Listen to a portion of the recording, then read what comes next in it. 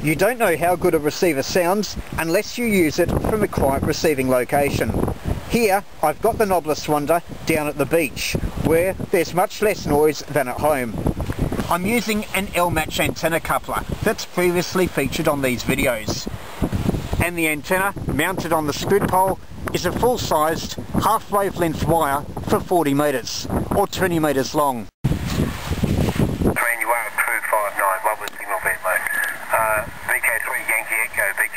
Mike Echo Golf. Uh, hang on. Uh, here we go. Crank that back and that's going back in. Uh,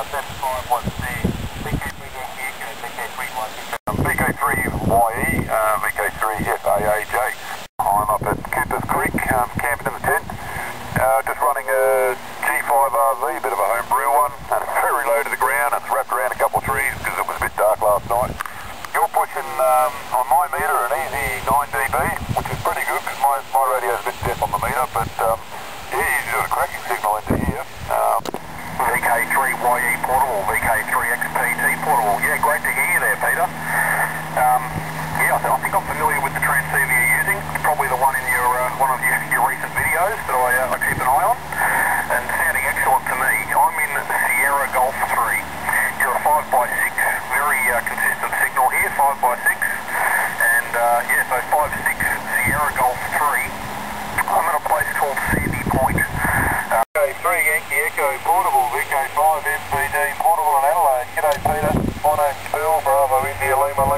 Not in the can, not in the competition today, just wanted to give you a call and let you know that you're 5 and 5 into Adelaide. Thank you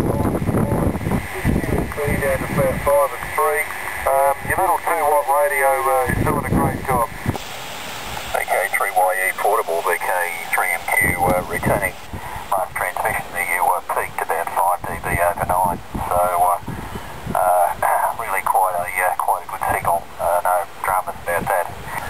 it is Delta Victor Kilo.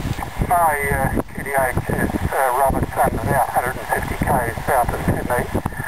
Uh, your signal is varying, there's of QSB up here, and varying between about a 5 and 5 and 5 and 8 and 5 and 9, so uh, varying a little bit, but uh, you know, very readable, Peter. A total of seven contacts were made in just over an hour's operating. Most were VK3s, but VK5 and VK2 were also worked.